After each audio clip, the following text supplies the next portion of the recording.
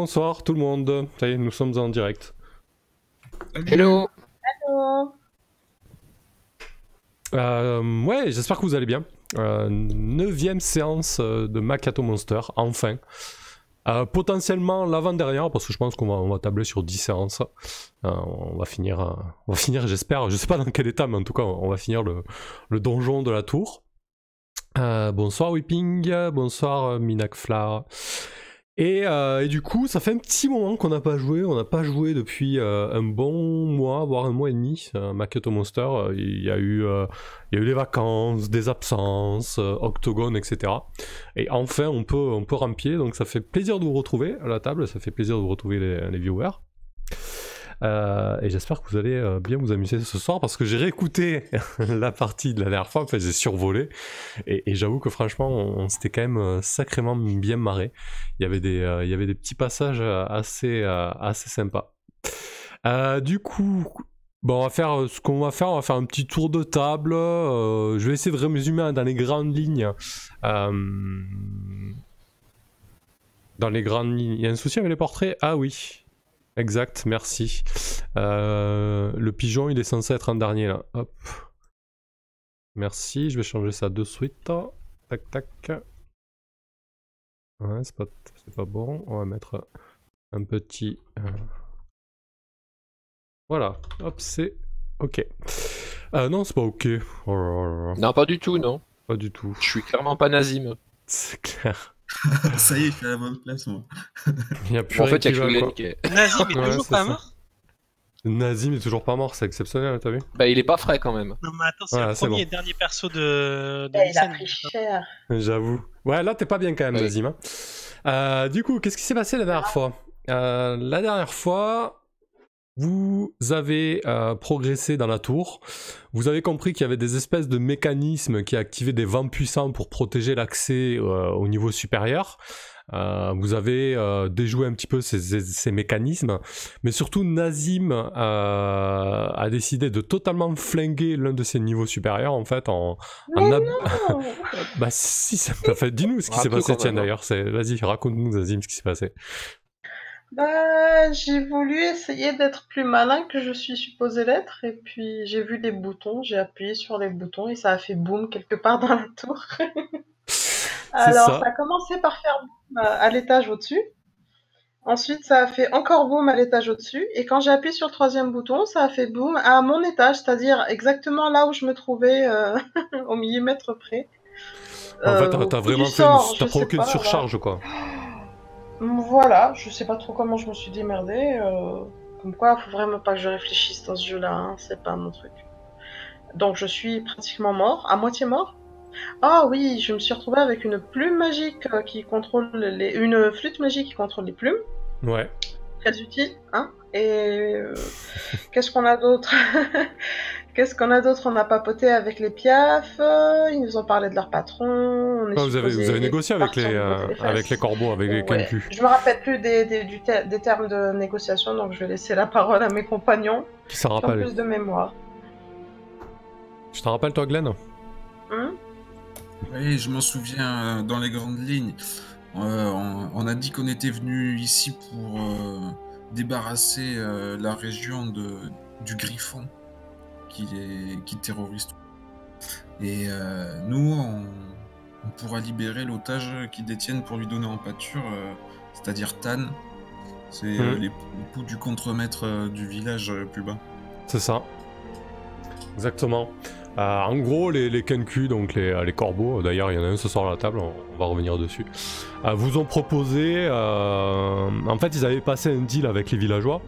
En gros, le deal, c'est euh, vous nous filez euh, des offrandes pour l'espèce de gros, euh, de gros rocs, de gros griffons qui, qui essaient de nous becter. Comme ça, ça l'occupe. Euh, sinon, sinon, vous allez nous avoir sur le dos de longue.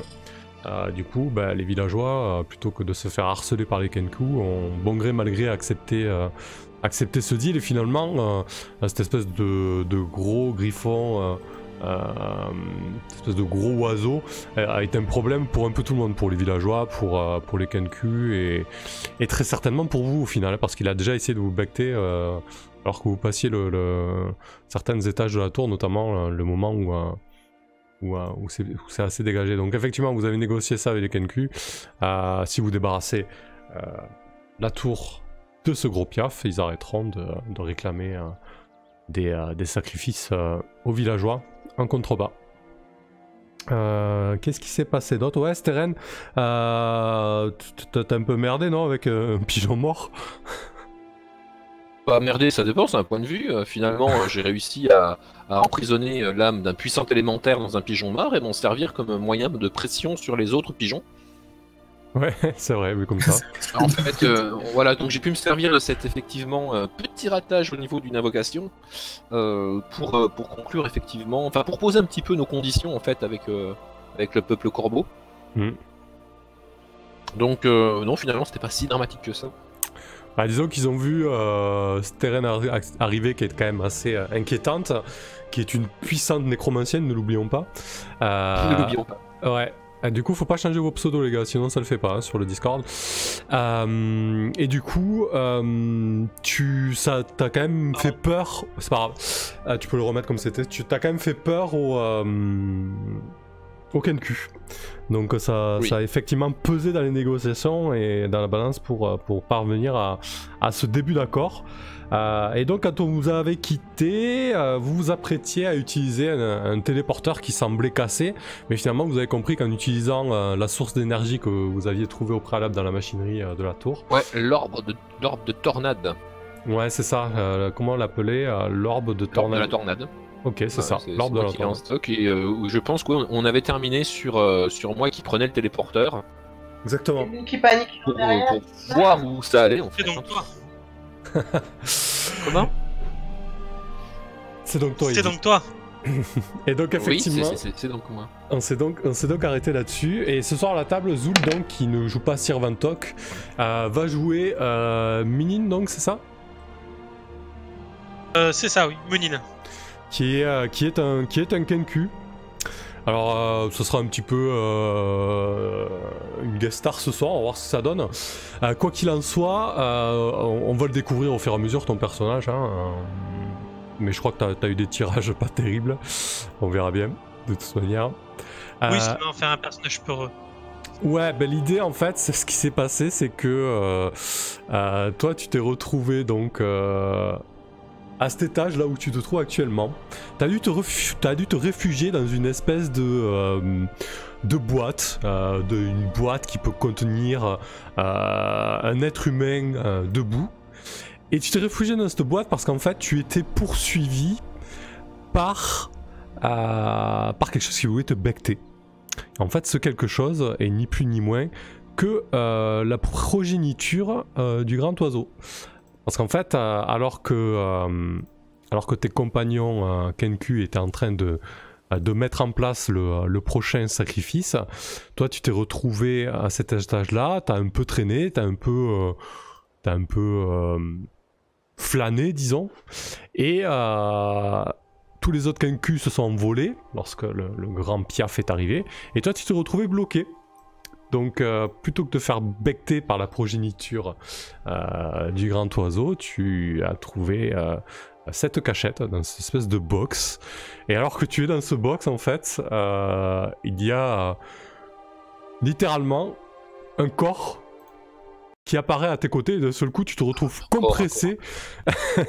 d'un seul coup tu te retrouves compressé euh, contre la paroi en fait. Et toi Steren donc qui vient tout juste de te téléporter avec euh, euh, cette machinerie et la puissance de l'orbe de la tornade, euh, tu te retrouves dans, dans un box et surtout tu te retrouves totalement envahi de plumes noirâtres et il y a une, une forte odeur de, de vola- volatile, une espèce d'odeur de, de poulailler, tu vois.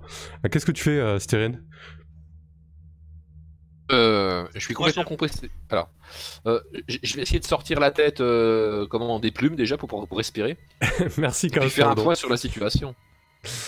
Ouais, parfait. Bah écoute, euh, ouais, donc euh, tu, tu, tu, tu sens quelque chose qui te pousse pour, euh, pour essayer de, de, trouver de l'espace. Il y a difficilement de la place pour deux. Et alors que tu essaies de, de sortir un peu la tête de ces plumes, euh, Steren, il te, sent, il te semble entendre des espèces de bruits comme des cliquetis, des quelque chose qui, qui tape au sol, comme quelque chose qui avance. Euh, tu sais pas ce que c'est, mais euh, tu seras à notre époque, tu dirais c'est- ça ressemble à des talons, quoi, tu vois. Mhm. Munine, t'as t'as- t'as cette chose qui vient d'apparaître, tu l'entends peut-être euh, grommeler un petit peu. Euh, Qu'est-ce que tu lui dis? Qu'est-ce que tu fais? Alors que toi, tu sais ce qu'il y a euh, en dehors du, du box de téléportation, ce qui essaie de te becter depuis, euh, depuis plus- plusieurs heures. Il faut, il faut pas, il faut pas faire de bruit. Il faut pas faire de bruit. Il faut pas faire de bruit. Steren, tu, tu l'écoutes, tu fais quoi?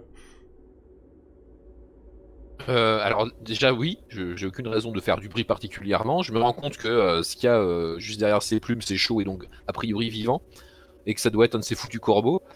Euh, J'essaye de faire un point sur la situation, de regarder ce qui se trouve autour de moi. Je suis dans un box, est-ce qu'il est fermé, est-ce qu'il est ouvert, est-ce que à quoi ça ressemble en fait tout ça J'essaye de, savoir où je suis quoi. Bah, T'avais peut-être pas remarqué euh, ce mécanisme en bas, ou du moins t'en as pas eu d'utilité, mais effectivement tu vois que Munin a, refermé derrière lui une espèce de, porte euh, circulaire et coulissante en fait. Donc vous êtes, euh, vous êtes vraiment dans le noir. Tu as juste le son, euh, l'odorat, ça empeste et, euh, et cette impression de vraiment d'être écrasé. Si, euh, si tu écoutes Munin et que tu fais silence complet, euh, tu entends effectivement quelque chose qui, qui marche et quelque chose qui, qui, qui marche avec, semble-t-il, ça, ça claque contre le, contre le sol et la, et la pierre en fait. D'accord. Bah, déjà, je vais commencer par effectivement euh, baisser d'un ton, et puis simplement faire un petit euh, bonjour. Vous êtes qui? Chut. On va pas aller loin avec des chutes. Putain, il faut pas faire de bruit. Il commence à me saouler.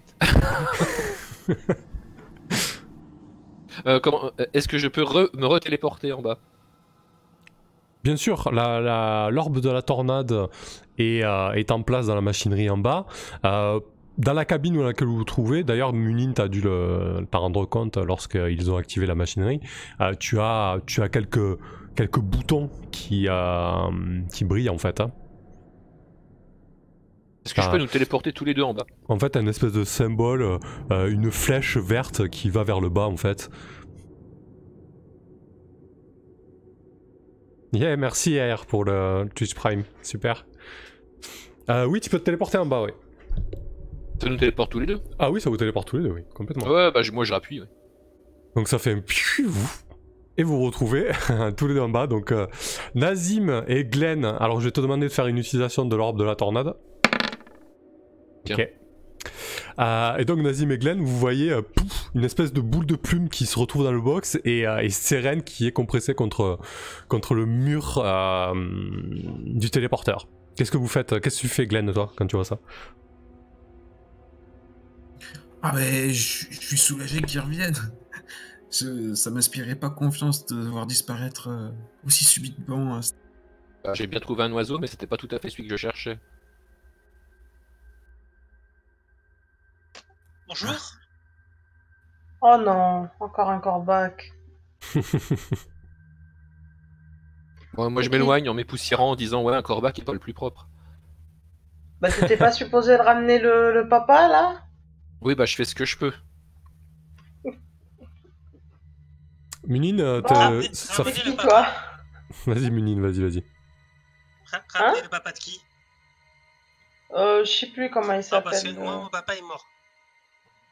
Ah, bah tu nous as ramené un joyeux en plus, Ah, super. techniquement, je pourrais le ramener aussi, mais c'est pas le propos.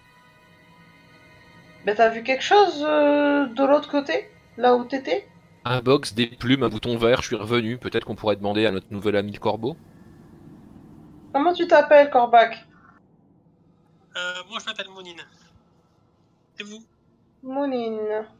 Nazim, guerrier des sables, ravi. Pourquoi il y a J'essaie des de me pencher un peu. Ah, agressif, tu me trouves agressif, t'as encore rien vu, bonhomme. Non, mais s'il y a des guerriers des sables, ça veut dire qu'il faut combattre les sables. Ah putain, en plus, c'est pas le, plus pas le plus lumineux de Ouais. la tribu, hein. Bon, enfin. Euh, bonjour, moi c'est Steren, euh, nécromancienne, euh, magicienne, euh, tout ça, tout ça.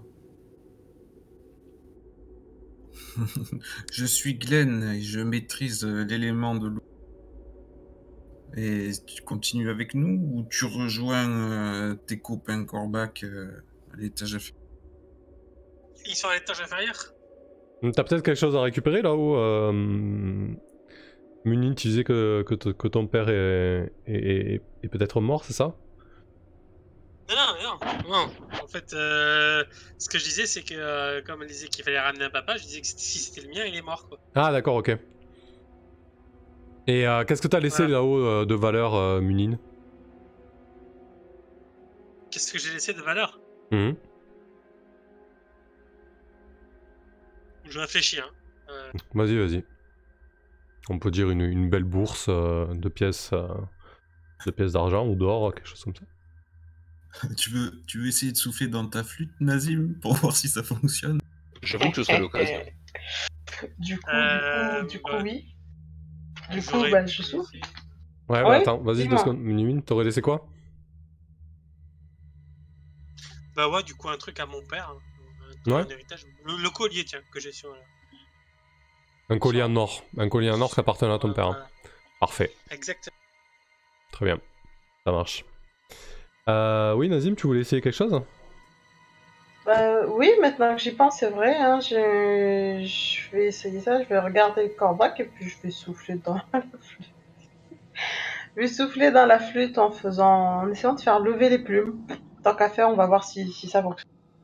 D'accord. Euh, je souffle de travers et voilà. Euh, Qu'est-ce que tu donnes comme, euh, comme air? Peu. C'est juste pour voir si ça marche, c'est tout. Bon, après, j'ai beaucoup de souffle, mais je me contrôle quand même. Ok, bah du coup, si tu, si tu joues une note ou deux comme ça rapidement, euh, euh, oui, effectivement, euh, Munin, tu peux sentir euh, soudainement tes, euh, euh, certaines de tes plumes euh, qui se mettent à, à bruisser et à, et à onduler en fait. Ah, ça ne Oh. secoue pas plus que ça Ah, j'ai un peu la frousse. Bah, il a joué deux Non, notes quoi. pas encore. Il a joué deux notes, pardon. On va peut-être faire un test un peu plus conclu- concluant si on veut monter euh, à l'étage et affronter cet oiseau géant. Ah, mon pauvre. Merci, il faut mémé. porter volontaire, euh, Mounine, pour ces quelques tests. Tu voulais pas demander son avis surtout. Euh, On peut quand même Bah, le remercier. Bon, bon. Et puis j'essaie de souffler un peu plus fort. Ça donne quoi? Euh, bah du coup, euh, hum, hum, hum, T'es musicien ou c'est shitty flûte complet euh, ce pas que tu vraiment, souffles je pense. euh. Tu vois le gamin de 5 ans au collège? Voilà. Ah putain Célim à la joie. Donc je vais te demander euh, un, test, un test de dextérité avec, euh, avec des avantages parce que euh, du coup t'es pas, t'as pas spécialement euh, euh, d'air prédéfini ou c'est pas spécialement ta, ta spécialité de, de jouer de la flûte. hein. Non. Alors, euh, tu me disais dextérité? Avec des avantages, ouais.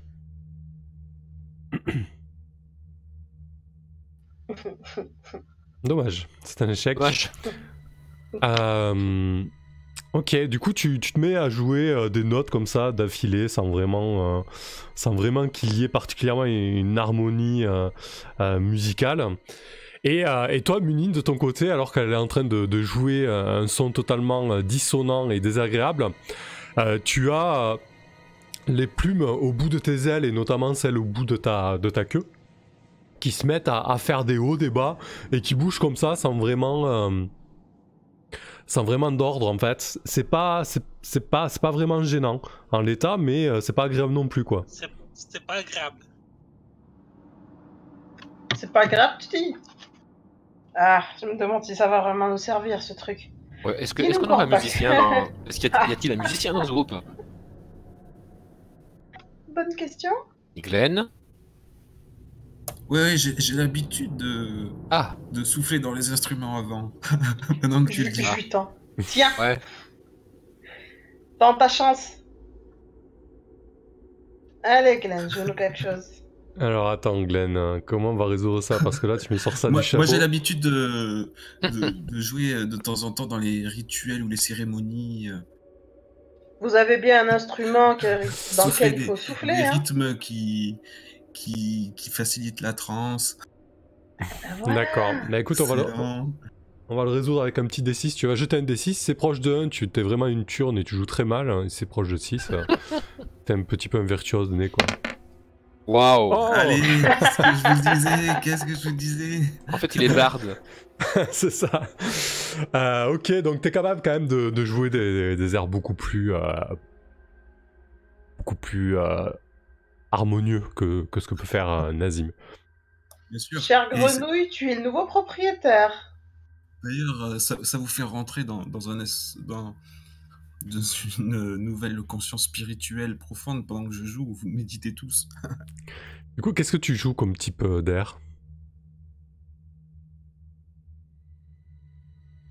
Oh bah, c'est lent, plutôt aigu. C'est c'est plus de l'ambiante. Ok. Euh, Donc vas-y, fais un petit test de dextérité, voir un petit peu comment ça se passe au niveau de l'air et au niveau de, de l'enchaînement des notes. Oh merde. C'est pas sur la sagesse, moi, quand je joue? Pas vraiment. Trop de négociations là, trop. Aïe, oh. Alors du coup, euh, effectivement, tu vois que euh, tes plumes Numunine, euh, contrairement à tout à l'heure, se lissent et en fait s'adoucissent. Si tu étais en train de voler et, et, si, tu, si tu étais en train de... ouais, si tu étais en l'air en fait, tu penses qu'avec les plumes comme ça, comme elles se comportent, euh, ça te permettrait euh, de planer et d'aller dans une direction donnée, quoi. Voilà, en fait, de, euh, euh, ouais, de planer finalement. Pas vraiment de faire des manœuvres euh, importantes, mais euh, d'aller euh, tout droit euh, vers un point, quoi. Quel intérêt, sachant que je sais déjà volé? Ben, L'intérêt, c'est qu'il il- il- il pourrait te- il pourrait t'aiguiller en ligne droite, en fait, avec, euh, avec ça. Euh, ra- Rappelle-moi, où est-ce qu'on l'a trouvé cette, euh, cette euh, flûte déjà? Est-ce que c'était sur un corps? Non, en Non, fait... c'était plus Ouais, sur un fantôme, c'est ça? C'était un fantôme, non? Il l'utilisait pour faire voler des trucs sur nos... C'est quoi C'était Bah, au, moment où vous, au moment où vous posez la question euh, en en méta, en fait, il y a la flûte qui, euh, qui, qui se réveille, qui dit euh, euh, Vous allez faire ça longtemps, c'est a- assez désagréable de, de souffler euh, en en moi comme ça. Oh bah déjà que tu sers à rien, si en plus tu te plains derrière, euh, pff, franchement, Euh, Dis-moi, flûte, est-ce que tu peux jou- jouer de toi-même toute seule? Ah, bonne question. Ah non, pas du tout. euh, mon cher créateur propriétaire, euh, lorsqu'il s'occupait encore de moi, euh, jouait avec moi, mais je ne peux pas jouer seul. Avez-vous déjà vu euh, une flûte jouer seule? En même temps, j'avais pas vu une flûte parler non plus, donc. C'est ce que j'allais dire. Mais il y a personne qui est étonné que la flûte parle Ah, bah toi en fait Munine t'as as déjà, t'as déjà entendu cette voix euh, ceux de ton clan qui, qui habitent un peu plus bas dans la tour euh, avaient peur de cet étage au-dessus de vous euh, qui contenait une espèce de fantôme poltergeist. Et tu te rends compte en fait qu'il s'agissait de cette flûte habitée visiblement par un esprit. Donc pour remettre un petit peu de contexte en fait la, la flûte est, euh, euh, est liée à un élémentaire euh, d'air en fait. D'accord. Et si Ça tu- va l'ami on, t'a pas trop abîmé? Je dis ça en regardant Menine. En regardant quoi? Qui? À qui tu parles? La- La flûte Attends. Je te parle à À toi. Bah euh... Non, ça va. Ça va. Mais c'est qu'il Ah. est tout gentil. Il a supporté ça sans parler, sans rien dire. J'ai joué souple et doux. Bah vous êtes armé, vous avez l'air dangereux, donc je préfère me laisser faire. hein. Ah, il est censé, pas futé mais censé. Je suis contente de t'avoir dans le groupe. C'est vrai. C'est c'est une nouveauté, ça, tiens. Euh, flûte, euh, est-ce que ton créateur est mort? Hmm. Vous, vous m'avez déjà posé cette question. euh, Oui, mais je ne me souviens plus de la réponse en fait. je vous, ai, je vous ai dit que ça fait des années et des années que je ne l'ai pas vu. Depuis qu'il y a eu ce grand boom dans la tour. Ok. Euh, alors, je vais essayer de, m- de- de me servir d'un de mes spells. Euh, communication avec les morts. Et comme il me faut un truc ayant appartenu à, aux morts que j'essaye de contacter, je vais essayer de me servir de la flûte en fait. voir si j'arrive à contacter l'esprit du créateur. Hmm. Intéressant. Et si ça foire, c'est qu'il est pas mort. Ou c'est que t'es pas doué? Désolé, fallait que je le dise. Non mais excuse-moi, je suis une nécromancienne de premier niveau. À quoi ça ressemble quand tu, jettes, euh, quand tu jettes ce sort du coup? Euh, bah, il me faut un petit peu de temps hein, pour l'installer. hein. Il faut que je fasse un petit pentacle, euh, un petit rituel. euh, je m'assois et je marmonne quelques euh, comment euh, paroles en langue noire. euh. Idéal- idéalement, c'est mieux si l'ambiance est, euh, est tamisée avec un peu d'encens. Et comment il se manifeste euh, l'esprit du mort Euh, L'esprit du mort, euh, sous une forme humanoïde fantomatique la plupart du temps, qui comment qui s'échappe un petit peu de, de, de l'objet qui me sert de focus. Ok, très bien. Parfait. Eh ben écoute, comment on va le doser? Alors c'est un, sort que t'as pris, c'est ça là? Communication Surtout avec que le j'avais mort. déjà avant ça. Euh, alors, de base, ça coûte 1 PV. Ensuite, c'est un mort qui est mort il y a très très très très longtemps. Donc, on va partir sur 2 PV. J'imagine que tu veux, tu veux que ça dure quelques minutes. Ouais, ce serait mieux. Euh, donc, on va dire 3 PV. 3 PV.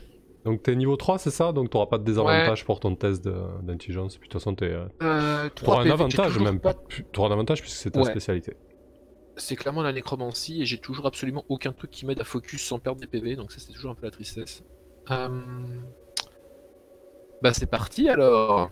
C'est donc un test de d'inté C'est ça, tout à fait. avec avantage. Bah ouais, c'est une réussite. une Très bien. réussite. On sort le Viens à moi, esprit du créateur. Euh, du coup, euh, au bout de quelques secondes, euh, vous pouvez voir une espèce de, de fumerole commencer à se dégager euh, du, pentagramme que, Styren a, dessiné. Et petit à petit se matérialise le corps d'une personne. Alors, d'abord, c'est un tronc en partie éclaté. Euh, cette personne a eu euh, une mort violente.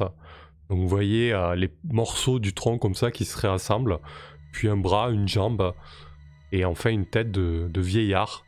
Euh, il est vêtu d'une manière tout à fait riche. Il fait penser à- au plus éminent des mages que vous ayez pu croiser. Si ce n'est qu'il a sa robe totalement déchirée et brûlée par endroits lorsqu'elle est encore euh, en place. Il a les traits fatigués, va dire euh, cadavériques, euh, et les yeux totalement rentrés dans, dans ses orbites. Il est un peu coloré, mais assez terne, et surtout il semble porter le monde sur ses épaules.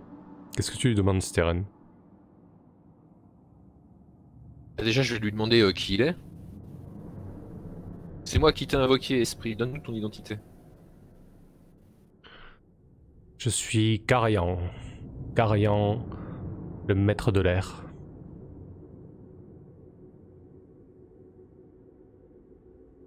Ok. Qu'est-il arrivé à la tour, Carion Hmm. Il est, il est arrivé un, un accident. Je, j'ai un peu trop tiré. euh, comment on dit déjà Ah, ce satan est mort. On, on oublie tout. On pense à rien. Euh, j'ai un peu trop tiré sur euh, sur la corde. Lors d'une expérience, euh, j'ai voulu aller un peu trop loin et ça a fait boum. Est-ce que tu es le responsable de la création de cet oiseau géant de malheur? Euh... Oui. C'est en ouvrant euh, un portail vers euh, le plan élémentaire de l'air, un portail que, que j'ai voulu ouvrir pour la première fois, mais visiblement ça s'est mal passé. Cette chose euh, ignoble en est sortie et, et m'a becté. Ah, mince. La triste histoire. De mes, euh, mes collègues, savoir s'ils ont une question euh, à poser à l'esprit. Est-ce que euh, vous avez pu vous servir de, de votre flûte contre cet oiseau euh, avant de perdre le duel? Oh, ma flûte est, était rangée en bas, bien évidemment. Ça fait longtemps que je m'étais lassé de, de cette euh, petite chose. Là, vous entendez la flûte derrière. Ouais, ça était sûr, s'en foutait de moi. Et tu n'avais rien prévu contre les créatures qui sortiraient de ton portail? Je, pensais que. Je, normalement, euh, avec, avec toutes les, les études que j'ai faites euh, sur l'ouverture des portails, je pensais que, que ça n'allait que, que dans un sens euh, et pas, et pas dans l'autre. euh, tout tout s'est mal déroulé. Et puis surtout, euh, il y a eu une surcharge d'énergie qui, a, qui a tout fait sauter en, en contrebas. Vous voyez qu'il commence à, à s'estomper un petit peu en fait. Merde, merde, merde, il reste plus beaucoup de questions. Euh, Esprit, euh, dis-moi comment accéder à tes grimoires les plus secrets et tes euh, sorts les plus puissants. Hmm. Un, un magicien, même mort, euh, tient énormément à ses secrets. Euh, Qu'est-ce que tu lui donnerais pour euh, tenter de faire passer la balance? Euh... Bah. je vais plutôt le menacer. Mhm. Tu as été appelé par une puissante nécromancienne, Esprit, et si jamais tu refuses ta- la coopération, euh, je rendrai ta mort aussi euh, désagréable que la fin de ta vie. D'accord. bah écoute, fais-moi un petit jet de charisme pour, euh, pour résoudre ça. Le trait flippant, il marche. Bon, je pense pas que tu lui fasses peur quand même. Enfin, pas. Ah bah. Tu, tu, le- tu- tu le menaces, mais tu le, Oui. tu le fais pas flipper quoi. Bon, de toute façon, ça. Techniquement, techniquement c'est un nécromancien. Il a potentiellement le potentiel de pouvoir lui pourrir la mort. Oui, je vais le réincarner en pigeon s'il faut. Parfait. Euh, il commence de plus en plus euh, à, à s'estomper. Et, euh, et en fait, il te, juste avant qu'il disparaisse, il te, tu, tu t'as un filet de voix comme ça qui te parvient. Et il te dit Le mot de passe, c'est ma date de naissance. Et Quoi Chut. Ah, te voilà avec j'espère. une, euh, une énigme. Sa date de naissance? Vraiment? Moi, je regarde la, la flûte. Tu la connais, toi, sa date de naissance? Hmm, la date de naissance. Je ne sais même pas euh, quand est-ce que je suis né moi-même. Pourquoi je me serais intéressé à sa date de naissance? J'ai bien évidemment trouvé aucun paplard qui, parle de ça. euh, Bah en fait, t'as pas. Disons que t'as pas fouillé pas toute cherché, la tour. Ouais, Ouais. voilà, t'as pas cherché. Peut-être qu'il y a une mention quelque part. euh. Bon, évidemment, il aurait été extrêmement utile d'avoir le temps de lui poser la question euh, euh, de la euh, mélodie à jouer pour faire chuter les oiseaux géants avec la flûte, mais. Bon, Euh, une autre tu- fois. Il avait pas l'air de le savoir. T'as bien vu sa réaction quand je lui ai parlé de, de, ré- de choses qu'il avait prévues contre les créatures. Et il en a aucune idée. J'avoue que c'était pas le plus. euh, comment euh, Le plus euh, prudent des mages. Ah, souvent les expériences tournent mal. hein. C'est vrai. Quand on est attiré par euh, la puissance et le, et le pouvoir, Styren. Hein, sais pas de quoi vous parlez.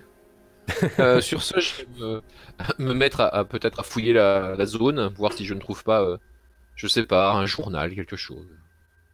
Ok. Je suis un peu dépité de cet échange du coup. Euh, Alors, du coup, Menine, euh, qu'est-ce que tu peux leur dire sur, euh, sur ce qu'il y a là-haut, sur ce qui essaie de, de te poursuivre? Tu sais que c'était les. En fait, c'est. euh, ce sont les petits du, euh, du griffon. hein. Les Les petits du griffon, en fait. Oui, donc il y en a plusieurs. Les. Ok, Ouais. je pensais qu'il n'y en avait qu'un. Tu sais qu'il y en a deux au moins. Ok. D'accord. Euh, bah, ce que je peux leur dire, c'est qu'en en haut, c'est les petits du griffon, c'est pas le papa. Euh, Qu'il y en a au minimum deux. Qui sont très méchants. Et voilà. Et je connais leurs points faibles. Bah, mis à part que c'est des poulets de 2 mètres de haut, euh, pas vraiment, quoi. Ils craignent le feu, le poison, euh, je sais pas. Bah, qu'est-ce que tu crains, toi, en étant un oiseau?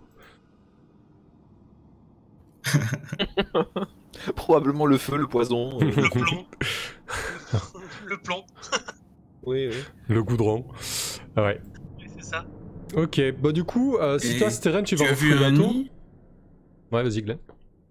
Non, mais c'est euh, c'est- c'est l'arni. Ouais, mais tu, tu as vu des œufs? J'ai vu des œufs, oui. Il y en a des œufs. Ouais, il y a, y a Oui, des œufs. des. Alors, Oui, visiblement, il y, a- y des œufs qui ont éclos et d'autres non. Ouais, voilà, ils sont gros comme ça. Ah ouais, impressionnant.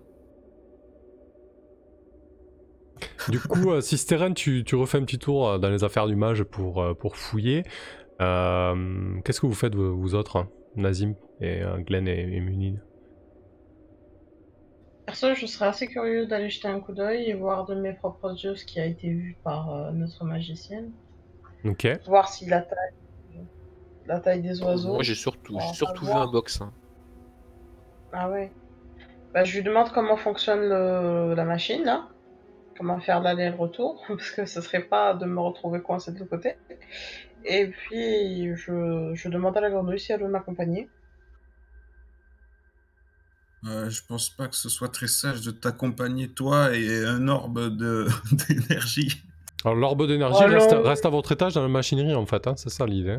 Du coup, tant qu'il est dans le téléporteur, le téléporteur pas fonctionne. erreur. Je suis, je suis pas sage, mais je ne suis pas stupide. Enfin, la plupart du temps. Donc tu ne viens pas. Hum, Bon. Enfin, je vais y aller. Et si ça pète? Oh, A je te priori, ça pète protégerai. Tu vois, même la magicienne dit que ça pètera pas. Mais non, ça pètera pas tant que vous touchez pas au truc et vous continuez, vous vous contentez d'appuyer sur les boutons. Il y a juste un bouton avec une grosse flèche euh, euh, verte Ouais, vers le haut. Voilà. A priori, celui-là, ça passe. j'aime appuyer sur les boutons. Je pense que je vais profiter de ce moment de pause pour euh, m'installer, et méditer et utiliser mes talents de divination. Ok. Et toi, Munin, euh, qu'est-ce que tu fais? Tu accompagnes Nazim ou euh, Oh non, moi je complète pas Nazim dans ce cauchemar. hein. Par contre, je lui écris bien le collier de mon père pour qu'il essaie de le récupérer. Du coup, bah, je lui dis, tu veux récupérer le collier de ton père? Eh ben, amène-toi. Non, mais finalement, j'y tiens pas tant que ça. hein. Est-ce que, est-ce que je peux le prendre juste par la peau du cou et le choper avec moi dans la boîte? Non, mais Euh. mon père était pas quelqu'un de bien, c'est un Ils, ils sont pas vachement grands. de lait de poule tout le temps. Ouais, alors euh, Steren et toi.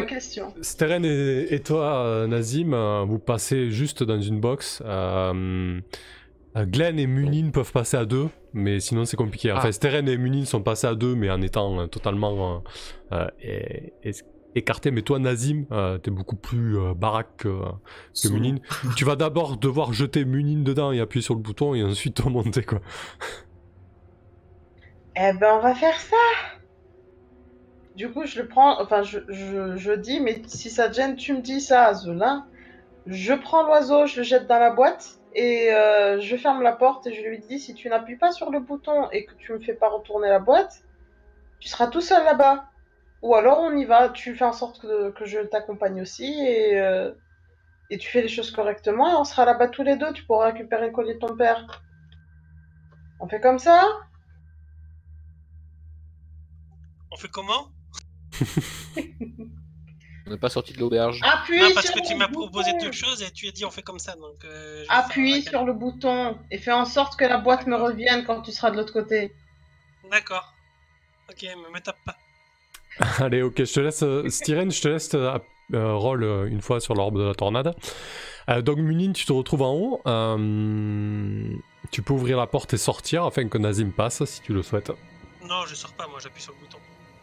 Ah, t'app- t'appuies sur le bouton pour que Nazim monte directement Ok. Oui, pour envoyer Mais, le truc. mais s'il sort pas, il va redescendre. Alors, non, Ah oui, c'est vrai. non, si- s'il appuie sur le bouton là-haut, Munin va redescendre. Par contre, s'il reste dans la boîte et qu'il attend que Nazim monte, euh, il se passera ce qui se passera, quoi. Oui, il va y avoir un problème. il va y avoir un problème d'espace et de matière, quoi. Je- voilà, c'est-à-dire que euh, je veux pas vous, vous, vous affoler, mais à mon avis, il va se, il va se passer des, des trucs. hein. Donc, Mais s'il fait ce que je lui dis, cet oiseau, cet oiseau de malheur, tout ira Mais bien. tu m'as dit de descendre et d'appuyer sur le bouton. m'a My pas dit de sortir de la boîte. hein. C'est vrai. Donc Munin, tu es là-haut, tu viens de monter. Et donc toi, Nazim, tu peux euh, te mettre dans la boîte et monter à ton tour. C'est la soirée de toutes les expériences. Eh merde. Ouais, ouais, cela dit. hein. Donc Styrène, vas-y, tire deux fois l'orbe de la tornade. Et du Alors, j'ai euh, lu un bouquin, ça s'appelle La Mouche. Je sais pas si vous le connaissez, c'est un best-seller dans cet univers. Alors, la première fois, j'ai fait 4, hein, et la seconde fois, donc, je fais 8. Ok, parfait. Très bien. Au Euh, moins, l'orbe tient le coup. Donc Nazim, en fait, tu te retrouves téléporté, et au moment où Nazim se téléporte dans le même box que toi, Mumine, en fait, tu, euh, tu te retrouves compressé, écrasé littéralement par la, euh, par la taille et, et la carrure imposante de, euh, de Nazim, et le box est beaucoup trop petit pour vous deux. Euh, du coup, je vais te proposer de prendre un des 4 de dégâts. La voulge qui te chatouille les côtes. Donc, Ah, prends, c'est vrai. tu prends deux points de dégâts. aïe, aïe, aïe, T'as- aïe. T'as t'as une partie, peut-être une, une, euh, une, une aile qui se tord ou, euh, ou quelque chose comme ça. Et euh, donc on reviendra sur vous tout à l'heure. Euh, Glenn, toi tu veux euh, interroger les oracles? Oui. Ok, qu'est-ce que qu'est-ce que tu demandes? Enfin, qu'est-ce que tu veux voir en fait? Et j'aimerais bien voir euh, où se trouve euh, le grand griffon ou connaître un petit peu ses habitudes ou, ou- pour pouvoir peut-être profiter d'un horaire où il est loin, pas là. si on doit tenter euh, un truc. En fait, là c'est pas- de l'oracle, là c'est du Google quoi. Comment on va tourner ça? Tu veux, avoir des visions sur le, sur le grand griffon, griffon quoi? Oui, voilà, et son nid. Alors sur le griffon ou sur le nid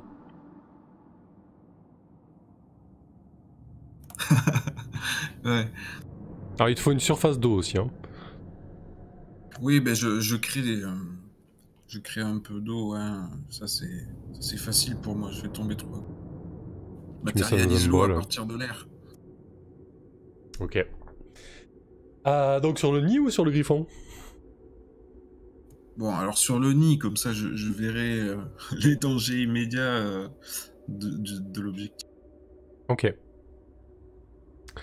Bah, en fait, tu, tu vois une espèce de, euh, de, grande, de grande surface circulaire qui est, qui est disposée en, en quatre, quatre compartiments, quatre pièces. Euh, tu vois distinctement euh, le téléporteur qui contient à peu près euh, ça et la conduite de la machinerie, en fait, cette espèce de conduite que vous avais décrite qui, passe dans toute la tour.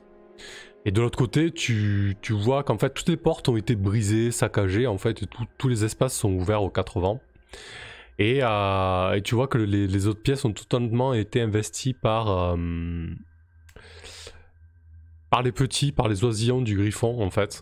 Et tout particulièrement une, une pièce dont le mur a été totalement euh, inventré, en fait, et, et qui, est, euh, qui est gavée de, de paille, de branches, euh, etc. euh, dans lequel repose un œuf. Et, et dans une autre des pièces, tu peux voir les petits en train de, de se repaître de, de, de chair en, en putréfaction. Ah bon, mais je, je vois beaucoup d'oisillons? Ah, tu en vois deux, oui. Ah, deux, ça va. Pas plus que ce qu'il disait.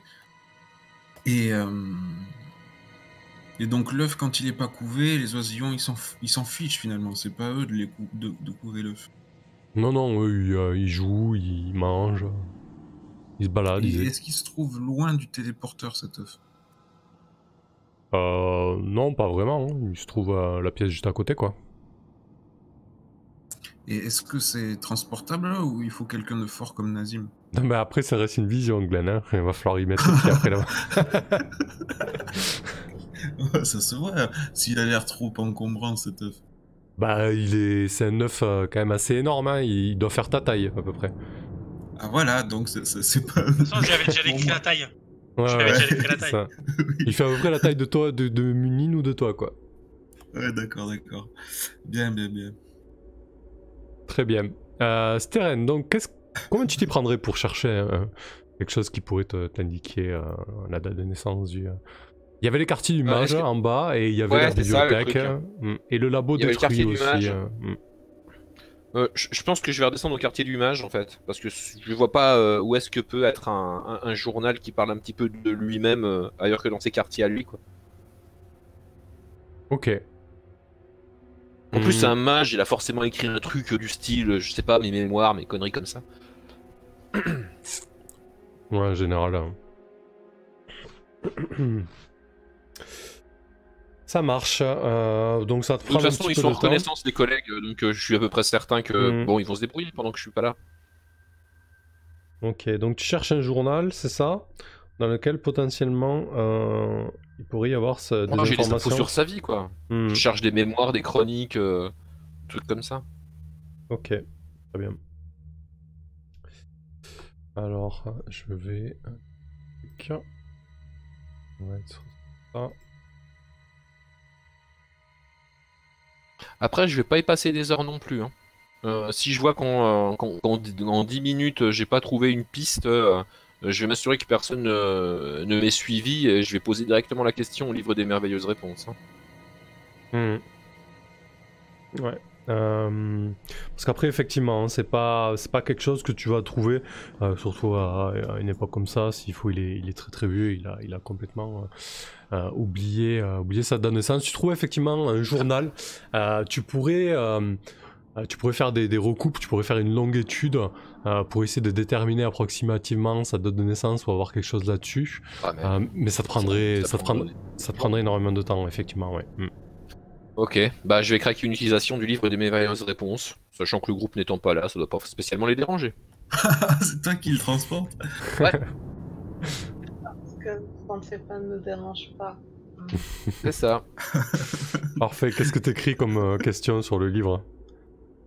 Et quelle est la date de naissance euh, du euh, sorcier euh, Comment il avait dit qu'il s'appelait? Kata- Katam, un truc comme ça? Karayan. Karian, voilà. Ok. Donc t'écris ça sur le livre des merveilleuses réponses et peu de temps après, Oui. des lettres se mettent à danser. Oups. Ah, ça descend des quatre. des lettres se mettent à danser et, apparaît le 22 avril 1332 selon le calendrier impérial. 23 vi- avril 1332. Hmm. Excellent. Comment? Enfin bref, de toute façon c'est écrit donc je m'en fous. Euh, je vais pas essayer de le redire de tête. Je vais me précipiter à la bibliothèque. Tu sais avec ces murs euh, bloquants et tournants là qui étaient euh, d'une angoisse. euh. Ouais. Et euh, je vais euh, je vais voir euh, si je peux euh, dire ce mot de passe pour désactiver ces trucs. Ok, donc tu t'y pointes et tu le, tu le dis à haute voix, c'est ça? Ouais. D'accord, ok. Euh... Mhm, Ouais, ça me semble une bonne idée. Moi aussi. Mhm. non, j'essaie de savoir un petit peu. euh, Ouais, je vais revenir vers toi. Du coup, euh, Nazim et, et Munin, donc euh, vous vous retrouvez bloqués dans ce téléporteur. La porte, tu peux l'ouvrir, Nazim? Qu'est-ce que tu fais? Ah bah je l'ouvre. Ah bah coincé comme on est, ouais, je pousse la porte. Hein. Ok, donc euh, tu ouvres la porte Par et. contre, pourquoi j'ai pris des dégâts et pas euh, Nassim du coup? Ah, Parce que c'est moi qui te laisse infliger les dégâts, bonhomme. Bah, en fait, elle est arrivée avec son, il est arrivé avec son énorme armure de plate et vois, il a, il a, il a empli l'espace en fait. Il s'est fait, de, il s'est fait de la place en fait. Et du coup, tu ouvres, la, tu ouvres la porte circu- circulaire, Nazim, et, et du coup, tu sens vraiment la, la pression qui est relâchée. Ça, te recrache dehors presque. Et, euh, et tu déboules un peu à l'extérieur. Et tu vois, ouais, effectivement, une grande pièce. Mais surtout, ce qui te frappe, euh, c'est l'aspect un peu vétus de la pièce. Tu entends le, le ronflement euh, d'une, de la conduite à, l'opposé du, du téléporteur qui apporte un petit peu l'énergie à toute cette machinerie. Mais surtout, à, à 3 mètres de toi, ben, il y a une espèce de, d'énorme poussin, mais qui fait ta taille en fait, et qui est euh, aussi étonné que toi de, le voir, que de, de te voir. Qu'est-ce que tu fais? Wow, c'est quoi ce truc? Est-ce que je vais me munir de réagir? Euh, Moi j'ai peur, moi. Moi, tu, tu peux lire- tu- tu peux voir dans mes yeux de corbeau sans pupille, euh, sans, euh, sans, sans paupières, que j'ai peur. Si j'avais des ça- paupières, ils seraient écarquillés mes yeux. Bon, euh, il ressemble à quoi ce truc? Est-ce que c'est plus un poussin effrayant ou c'est juste un, Bah, un disons qu'il a, grand quoi? il a un bec euh, euh, avec, euh, un bec assez énorme, hein, qui fait à peu près la taille de la moitié de ton avant-bras, qui a l'air acéré et surtout qui est euh, rempli de sang séché et des bouts de, de chair qui pendent. Et il, il est haut sur ses pattes, et au bout de ses pattes, il y a des énormes serres. Et hormis ça, il a, un, il a un aspect assez ridicule en fait. Il, euh, a encore du duvet, il a quelques plumes qui poussent, il est un peu décharné. Et, euh, il est figé comme ça avec euh, ses ailes un petit peu écartées, en fait, ses, débuts d'ailes en fait. Et il est figé dans l'instant pour le moment. Bonsoir, Jolie Rouge. Euh, bah, la flûte, je l'ai encore chez moi ou pas? Euh, oui, c'est toi. Ah non, Ah. c'est Glenn qui l'a. Ouais, je l'ai laissé à je l'ai pas rejoué donc. euh. Tu vois qu'il Euh, euh, tu vois qu'il est hmm. intrigué un petit peu, qu'il regarde à droite, à gauche. Euh, tu sais, il y a son cou qui se, qui se tourne à droite, à gauche, en bas. Voilà, tu, tu sens qu'il est en, en observation. Je tiens ma, ma boule bien dans les mains, je la serre fort, mais je ne bouge pas. Et je, je chuchote au piaf, tu bouges d'une plume, c'est moi qui te tue, pas lui. Et j'attends de voir la réaction. Mon but à moi, au final, ce serait de, de me dire, il va approcher. Je suis un guerrier, j'ai l'habitude de ce genre de truc, donc je vais Mhm. attendre que la créature approche par curiosité. Et euh, si elle m'attaque euh, à coup de bec, forcément, le- mon premier mouvement, c'est de, de lever le bouclier. Mais euh, si elle fait rien, j'attends qu'elle s'approche suffisamment pour que je puisse avoir accès à euh, sous le bec. D'accord. Tu sais, euh, c'est la partie la plus sensible en général, donc euh, pour pouvoir euh, enfoncer ma vouche tout simplement. Ouais, ça voilà. ça s'y connaît, un tuage de poule. Euh, Ah bah écoute, les créatures qu'on se tape dans le désert, je suis prêt là, hein, vas-y. Du coup, euh, l'espèce de, de gros poussin avance de, de quelques pas. Il, quand il arrive à 1 mètre, 1 mètre 50 de toi, tu, tu entends qu'il pousse. Enfin, tu entends pas, tu le vois pousser une espèce de, de piaillement en fait, assez aigu. Et au moment où il ouvre son bec, il y a une espèce de- d'odeur de, de pourriture qui, euh, qui, qui vient vers toi.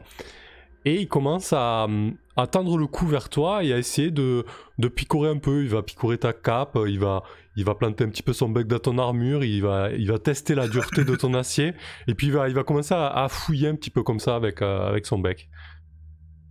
Mais c'est parfait ça. Du coup, j'attends que j'attends qu'il euh, qu'il essaye peut-être de, de picorer un petit peu ma cape pour que pour dégager sa gorge. Et j'enfonce ma vulge de toutes mes forces. Voilà. Mais pourquoi? Ok, Parce que c'est une sale bête. d'accord, ok. Il n'y avait pas d'autre option de toute façon. Bah, je- Ah, je ne réfléchis Moi, je suis pas. caché derrière Nassim. contre, Je comprends. Les poussins qui mangent des charognes, ils sont pas dangereux. il y a, tu- Bah non. Il y a toujours ils le d'autres options. moins avec une bouche dans le cou. bah écoute, euh, tu, tu, tu- que- ouais, on va, on va faire un petit. euh, euh, c'est toi qui as, c'est toi qui as l'initiative là-dessus, mais Je on- sens tellement que je vais déclencher un bordel pas possible avec cette réaction. Mais Ah ben, ça va énerver la maman. hein. Bah Bah, oui. de toute façon, ce sera pas la première fois que un bordel pas possible découle d'une action de Nazim. Remarque, oui, c'est bon, vous êtes habitués, donc ça va. Et euh, j'envoie quoi? J'envoie force? Euh, ouais, tu vas faire un test de force pour voir un petit peu comment ça se passe. Priez. Mais t'es sérieux? Oh putain. C'est mauvais. Force ou Vulge Non, Vulge, c'est les dégâts. Merde. Oh Bon, bien évidemment, euh, bien évidemment, si tu, euh, si tu tentes de, le- de, de l'empaler avec ta vouge, sa, sa réaction est de, est de se défendre. Euh, et, euh, et en fait, il- tu vois qu'il esquive d'un pas de côté euh, et, et d'un, bruissement de petites ailes euh, ton, ton, le coup que tu as essayé de lui asséner. Et en fait, il se jette euh, au niveau de ta jugulaire, le bec ouvert, et il, euh, et il t'arrache un bout de, un bout de chair, Nazim. Euh, bon, t'as de l'armure quand même, je vais, je vais jeter des dégâts. Ah, sérieux? Ah bah écoute, euh, oui, euh, sérieux, tu, tu l'agresses avec une bouge. Bah oui, mais j'avais j'avais le, le bouclier prêt, la totale prêt pour la défense, hein. je suis pas débile. non, non, mais d'accord, mais ce que je dis par là, c'est à, à, à Makoto Monsor, pour te rappeler, c'est qu'on a l'intention du monstre, et si tu fais un échec, tu subis la conséquence, quoi, tu vois. Mhm. Euh, tu prends deux, mais t'as ton armure, tu peux jeter ton armure si tu le souhaites. Alors... pour le combat, du coup. Ouais, je l'ai juste là. Donc il te restera un point à encaisser. Là, ça va. Donc, euh, ton armure euh, au niveau, euh, au niveau de l'épaule, du coup, en caisse, en fait, t'as ton gorgerin, t'as le bec qui, claque sur, ton gorgerin. Et il y a un deuxième, poussin qui débarque en, piaillant. Ah Genre, qu'est-ce qui se passe? T'essaies d'égorger mon frère. Et, du coup, qu'est-ce que tu fais, Nazim? Et ensuite, je demanderai à Munine aussi. Je me barre. ok. Euh, donc, tu te barres. Et toi, Munine Euh, voilà. J'essaie Ah, juste mais de. euh, moi, je suis déjà chose. parti. T'as activé le téléporteur Dès que, dès que j'ai vu qu'elle a, dès que j'ai vu qu'elle a, qu'elle, a raté, euh, j'ai activé le téléporteur. Ouais. Ok, donc euh, crame une, lance, le, lance l'orbe de la tornade, euh, s'il te plaît, Steren. Vous allez finir par me pourrir mon arbre de la tornade avec vos conneries. Euh, Toi, tu pourris notre super livre. Super Alors- libre. alors Nazim, du coup, je vais te demander ben, un, un tex- un test de dextérité, si tu vas atteindre rapidement le, le téléporteur et, et, euh, et y arriver. Allez, on sait que je vais le rater. hein. Vas-y, euh, envoie directement les mauvais coups. Hein, ça va. Hmm, c'est une réussite. Voilà. Euh, donc tu te jettes au niveau des téléporteurs et j'imagine que tu appuies sur le bouton euh, in extremis et Steren donc euh, tu peux euh, à nouveau jeter euh, l'orbe de, de la tempête. Ça tient. Donc. Glenn tu, Glenn, tu vois tour à tour Munine et, et Nazim débarquer, Nazim un peu, un peu essoufflé j'imagine. Euh, qu'est-ce que tu qu'est-ce que tu dis euh, Nazim qu'est-ce que vous faites? Ah, ils me sortent de ma concentration. Euh, J'étais accroupi, je, je me relève, je mets un, coup de pied palmé dans la flaque pour la Allons Moi, bon, euh, je- qu'est-ce que vous avez vu? Euh, puis j'enlève, euh, genre j'ai deux plumes sur les, les épaules, sur la tête. On a vu des piafs, pas mal de piafs, de gros poulets même. Je pense que ça va être un problème de s'en débarrasser. Mais euh, ça, je vous l'avais pas déjà dit avant qu'on descende. Oui, mais entre ta parole et la mienne, mon frère, il y a une grosse différence. Je préfère vérifier. Je sais, j'ai tout vu moi aussi. J'ai une stratégie. Il mais tu aurais que- pu le dire, non? Ça m'aurait évité d'être diarrhée quand même. T'es parti trop vite. Il faut qu'on dévie leur attention pendant que euh, l'un de nous, de costaud, c'est- c'est-à-dire toi Nazim, va kidnapper le l'œuf qui traîne euh, dans le nid. Et peut-être euh, que grâce à cet otage, on, on pourra euh, contrôler ce griffon. Je vais avoir besoin de force. Euh, aparté euh, MJ, Mhm. rappelle-moi le système des. hum, Comment on appelle Des murmures, c'était quoi? C'était les. les, les... Euh, Le système des murmures rumeur, voilà. c'est- Ah les rumeurs Les non, non, rumeurs. les, les rumeurs. Les rumeurs, les rumeurs. Si Ouais. je veux lancer une Alors, rumeur, si- je dois faire quoi? Alors tu fais un test, euh, alors attends, je crois que c'est un test d'intelligence, on va ressortir ça. Oui, c'est un test d'intelligence. Vas-y. D'accord. Alors, ce que je voulais, c'était. euh, il paraît que la. hum, L'obsidienne en non, poudre pas- redonne ne- déjà quelque chose comme ça? Non? Alors pour, pour l'instant, tu fais d'abord le test d'intelligence à propos du monstre, et ensuite on Ah. verra, parce que si c'est un échec, ce sera à quelqu'un d'autre de le, de le faire. Ah, ok. À propos du monstre, je peux pas. Ouais. euh, Par contre, il faut que ça vienne quand même de quelque chose que tu as déjà pu croiser par rapport à un trait que tu as ou, ou autre en fait. hein, euh, Oui, comment- Justement, c'est pour ça que Ouais. j'y ai pensé. Ouais. Euh, mais c'est pas par rapport au monstre, c'est plus par rapport à quelque chose que j'ai sur moi. Mhm. Euh, je le dis tout de suite ou j'attends de faire le test, on voit après. Parce que si je Bah, donne-moi la donne-moi la source de ta rumeur et ensuite on fait le test. Euh, étant donné que je viens d'un peuple des sables qui, qui, qui vient euh, de. Comment dire Qui tient sa source des golems, etc. Donc euh, la pierre, la magie des pierres, etc. On connaît. Mhm. Euh, j'ai pris avec moi les yeux d'obsidienne quand on était à la quand on était dans la mine. Ouais. Je les ai donc mon truc à moi ce serait euh, l'idée que je les avais pris parce que je savais que de base euh, il y avait on disait que les l'obsidienne en poudre quand tu l'ingères ça redonne des forces à un golem voilà. D'accord, très bien, parfait. Bah écoute, vas-y, fais ton Ouais. test d'intelligence. Pourquoi je rate toujours quand j'en ai besoin putain merde. En cas d'échec, quelqu'un d'autre, vous, enfin moi le MJ ou un joueur, peut Mais dire quelque chose qui n'est pas entièrement vrai. Euh, si quelqu'un a une idée d'une fausse rumeur, hein, qui n'est pas entièrement vraie en tout cas. Ça, ça peut aussi donner la diarrhée. Ah, Les- c'est c'est Les intéressant œufs d'obsidienne Ouais, la poudre d'obsidienne, pour ceux qui ont du sang de golem, euh, ça peut effectivement donner, rendre de la force euh, à ceux qui ont du sang de golem. Mais oui, ça peut aussi avoir des conséquences euh, néfastes. Voilà pour la rumeur. Oh mon dieu, qu'est-ce que ça va encore être? Bon. Ça ça fait aller. Ça fait quoi? Je vous Ça propose de, aller. je vous propose de, de résoudre l'action de Styrène et ensuite on voit ce que vous faites à, à 4. Qu'est-ce que tu fais C'est comme, Styrène toutes... c'est comme toutes les drogues, hein, un usage euh, non contrôlé, au bout d'un moment, ça donne la diarrhée. Ben, moi, je, je, je- t'ai dit que je, euh, je criais le mot de passe dans la, dans la bibliothèque dans l'espoir de désactiver ces murs rotatifs magiques.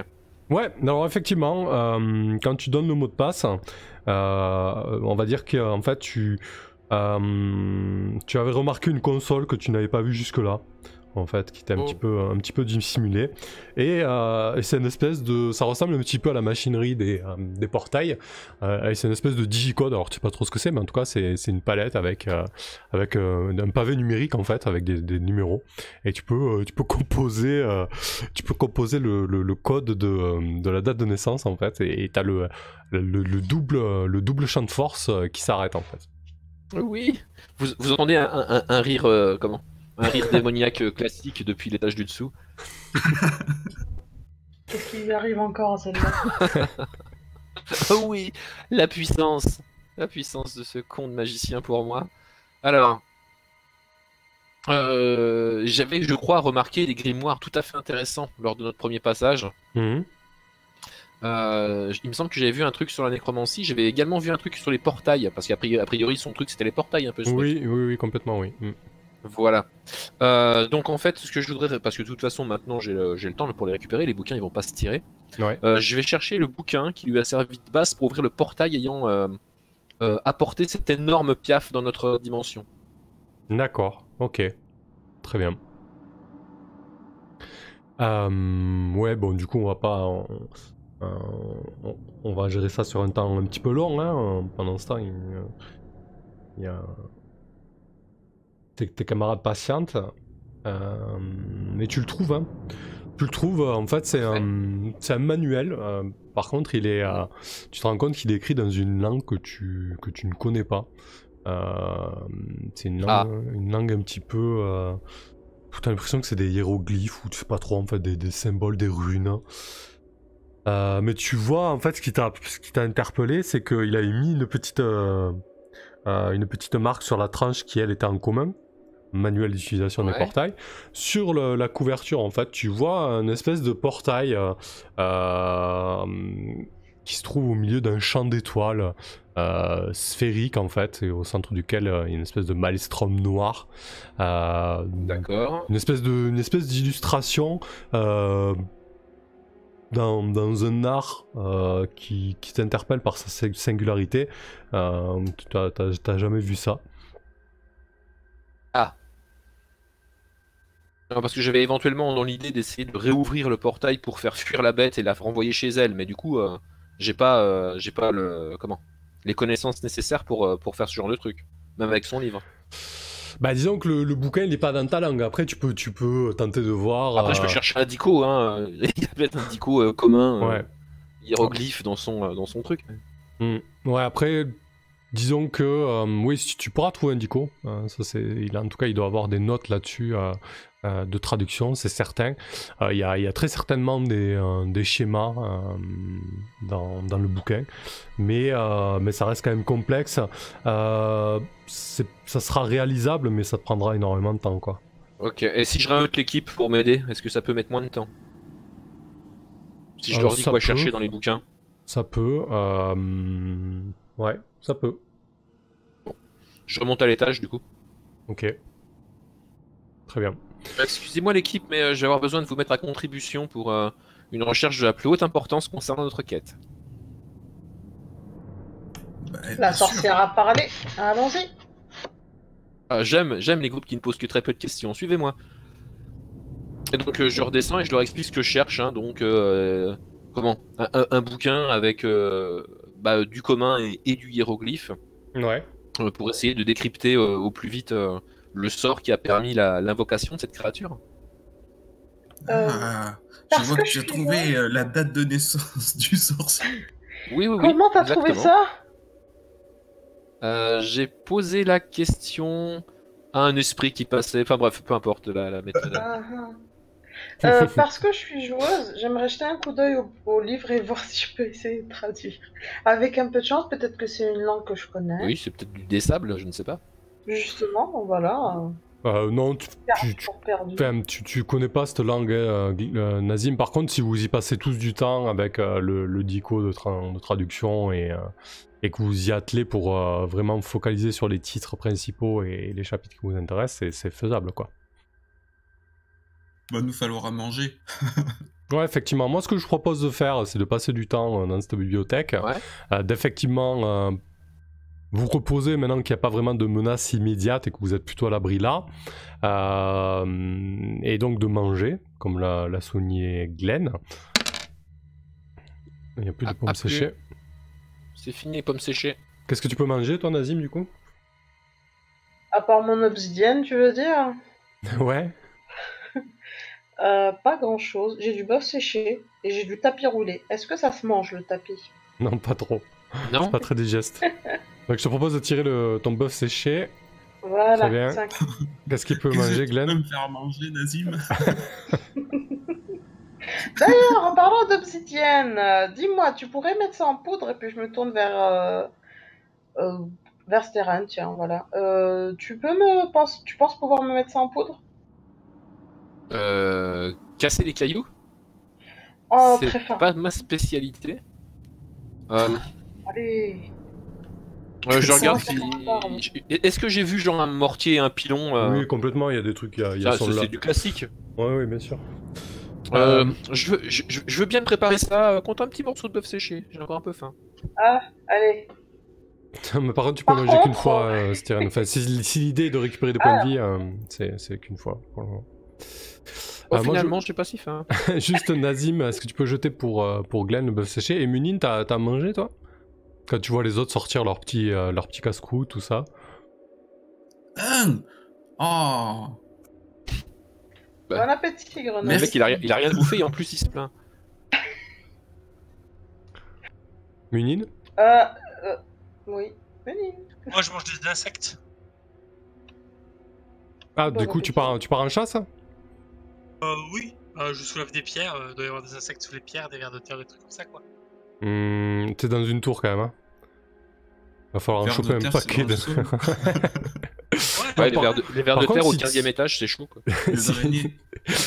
Faut que t'as trouvé un paquet d'araignées. Par contre, si tu veux partir à l'extérieur pour, euh, pour chasser et trouver à manger, il y a, y a aucun problème. si, un griffon. je vais faire ça. Ok. Donc euh, tu, tu, tu pars à l'extérieur et, euh, et tu vas te trouver à manger Comme le fait ton peuple Oui, c'est ça, exactement. Parfait. Euh, alors, euh, juste... euh, Donc on va résoudre ça. Euh, pour le pour l'action longue qui va vous prendre la, fin de la journée, une partie de la nuit, une partie du lendemain, euh, Steren, je te propose de faire un test d'intelligence avec avantage et on, et on verra ce que ça donne. Euh, en mangeant, j'ai réduit en poudre l'obsidienne hein, pour, euh, pour Nazim. D'accord, pas de que ça ne prend pas beaucoup de temps. Oui, oui, c'est Ouais, pas... Si tu pouvais m'ajouter un petit truc contre les maux de ventre, ce serait pas une mauvaise idée non plus. Ah non, mais moi je fais pas ça, moi. hein. Je, je soigne pas les gens qui sont encore vivants. Je suis vraiment désolé, mais c'est absolument pas ma spécialité. quoi. Ah, j'aurais essayé. Du coup, Ah. t'as as un des 8 de poudre d'obsidienne. hein. Un des 8 de risque de poudre d'obsidienne. euh, ajouter. Non, mais je pense que si t'as des problèmes de, de constipation, faut voir avec Glenn, surtout, c'est elle, euh, la soigneuse. hein. Glenn Tu peux manger de. Regarde, je- de délicieuses feuilles de chienlit. Vous voulez me tuer, c'est ça? Tout complètement drogué euh, à la poudre d'obsidienne à la chienlit. C'est ça, je sens que je vais passer une très bonne soirée. Euh, du coup, euh, Munine, tu te lances à l'extérieur euh, alors que le crépuscule tombe. C'est une, une bonne heure pour, euh, pour chasser l'insecte. Euh, je vais te demander un petit test de sagesse, s'il te plaît, voir un petit peu comment ta chasse se déroule. C'est là normalement que ça se passe bien. Souvent. Si, euh, si on le revoit jamais, on va pas trop le pleurer. hein. C'est pas comme si on Donc- le connaissait tant que ça. Donc c'est une réussite pour Steren le test de, des portails. Oui, moi ça a marché, y a pas de souci pour Ouais. l'intelligence. Mais... Ok. Et toi, Munine, du coup? Pardon, il est parti chasser. Oui, je suis parti chasser un jet de quoi Tu veux? Euh, De sagesse, s'il te plaît. Mais du coup, tu, peux, tu pourrais avoir un avantage quand même. T'es un homme corbeau que tu vas chasser là. Je t'aide parce que sinon. euh, Ah bon, d'accord. hein. Bon, je t'aide, mais ça sert à rien quoi. Voilà, exactement. Avec mes scores de merde, dis-toi que je vais mourir. C'est bizarre que je suis pas déjà mort de faim. Ok. Qu'est-ce qui va se passer? Tac, tac, tac. Alors. Et ça. Ah, j'ai mes tables qui marchent plus, qu'est-ce qui se passe Bon, c'est pas grave, je tire En plus, il est parti en volant à l'extérieur, on peut absolument pas intervenir. Non. Euh.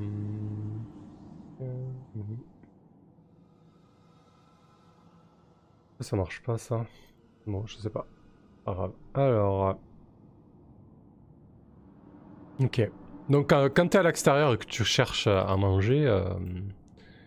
euh, Munine, tu, euh, Les embrouilles. en fait, tu remarques que euh, le, le griffon, qui d'habitude à cette heure-là est plutôt calme, ne cesse de voler autour de la tour. Et, euh, et concrètement, alors au début, t'es sorti, tu commençais à chasser un petit peu, la, la chasse était maigre. Et puis d'un seul coup, en fait, t'as as son énorme masse qui vole au-dessus de toi. Et qui jusque-là, en fait, tu t'avais pas fait gaffe. Il est, il est arrivé comme ça, brutalement en plongée. Et tu vois qu'il tourne frénétiquement autour de la tour comme si, euh, comme s'il cherchait quelque chose en fait. Qu'est-ce que tu fais? Bah, je me cache et j'essaie de voir ce qu'il cherche. Ok. Donc je vais te demander un, un test de, de dextérité, voir un petit peu comment, comment on peut résoudre le fait que tu te caches. Avec un avantage, on est quand même... de- Oh, quoique, euh, oui, si. On est, de nuit. Ok, donc c'est une réussite. Très bien. Euh, mais en fait, tu, euh, reviens euh, au niveau inférieur, là où la tour est brisée, en fait, pour, te dissimuler. Et tu te rends compte qu'il cherche euh, des points d'accès au niveau juste en dessous du téléporteur, en fait. Au niveau là où vous trouvez auparavant, en fait. Comme s'il sentait une présence ici et il cherche un moyen d'y euh, d'y accéder, en fait. En gros, il cherchait un Saloperie. truc. Ok, Oh no. Donc tu peux rentrer, ok, Bourdouille. ça, ça pue. Je te propose un test de constitution, voir un petit peu comment tu vas vivre cette nuit euh, sans te sustenter et comment tu vas vivre au lendemain surtout.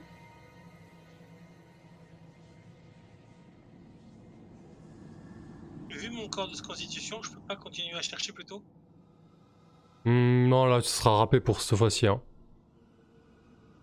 Ok, c'est un échec. Euh, donc pour le lendemain, là, pour euh, les, les prochaines scènes, tu auras un, désavantage sur tes tests de force et de dextérité du coup. Tu te sens, tu te sens relativement faible quoi. Oui, parce que j'avais besoin de ça aussi.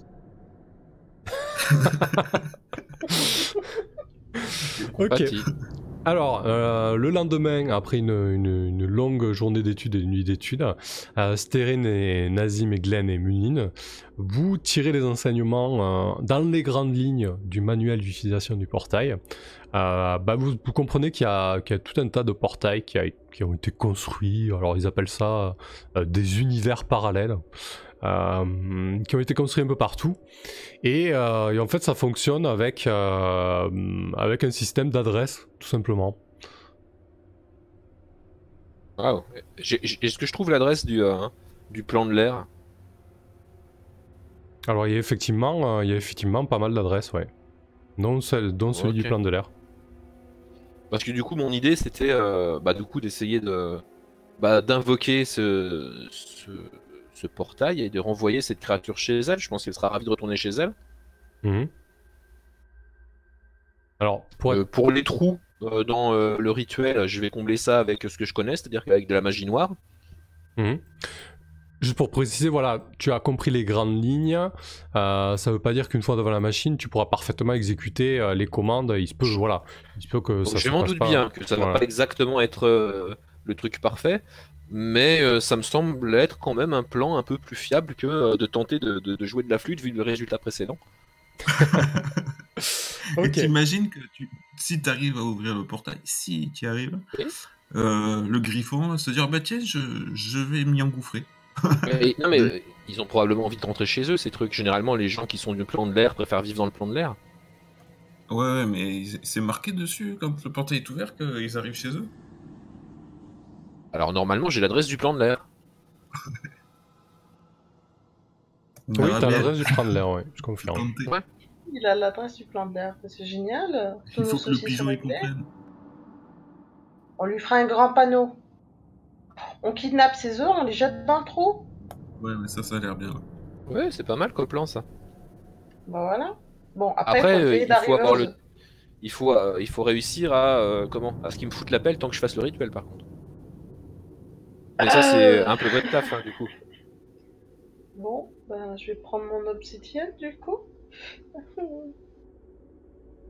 tu prends de. Alors, Nazim, tu prends de l'obsidienne, c'est ça? Euh, juste avant de partir. Juste avant de. Dès qu'on aura les plans prêts, euh, je me prends une... un shoot. je me prends un shoot d'obsidienne pour, euh, pour reprendre toute mon énergie, ou au moins le maximum. Hmm, Bah écoute, vas-y, prends, prends, jette-le maintenant. Euh, je vais te demander un test de constitution du coup. Et tu peux, tu peux roll ton, ton dé de risque pour l'obsidienne. Oui, génial. Bon, préparez-vous pour la chaise du siècle. J'ai mangé de la chenille, moi. Ok. On Euh, tous. Donc effectivement, euh, tu te retrouves avec un mal de bide pas possible à poudre d'obsidienne en fait, t'as du, vraiment du Putain. mal à, du mal à la, à la digérer. Euh, tu auras un désavantage sur tes tests de force. Oh, pas mais non, mais t'es Bah, sérieux. Bah, Le, le Charlie, le Charlie, mais putain, déjà avec les, les dés que je me tape là, si en plus j'ai des désavantages. je pense, Le je, Charlie, là, ça donne. Je pense que je pense qu'on a tous eu la gastro. Est-ce que tu aurais l'idée de faire un déménagement alors que tu as la gastro? Bah, C'est un peu la même idée quoi, tu vois. T'es faible quoi. Le bonus de, de l'obsidienne, c'est pas justement un bonus en force? Et juste, non, c'était supposé me redonner tous mes PV, mais. Euh... Il fallait, fallait encaisser la poudre en fait, voilà. Ouais. Mais ça pas- sera Mais pas c'est pour pour ça que je t'ai demandé derrière si. euh, C'est pour ça que j'ai demandé à la grenouille. Et qu'est-ce qu'elle m'a dit? Donne-moi Elle un m'a dit. Non mais ça marche sur Vous ceux qui ont le pourriez éviter de vous empoisonner avant qu'on lance euh, la, la suite du plan, ça serait quand même vraiment Jette le dé de idée. risque, s'il te plaît, pour le pour l'obsidienne. euh, Ah oui, oui. Et toi, euh, du coup, tu prends de la drogue aussi, Glenn? Donc on y est? Ah ben, c'est maintenant que j'ai. Ok. Donc, pour les heures qui suivent, tu auras un, un avantage sur tes tests de sagesse. Par contre, euh, ensuite, euh, quand tu seras down, tu auras un désavantage euh, sur tes tests de- dextérité. Ouais. Salut, Le rappelez-moi ce que ça fait. euh, ben, je viens de le dire. C'est avantage euh, pendant quelques heures euh, sur tes tests de sagesse. Et après, quand tu redescends, c'est désavantage sur les tests de dextérité.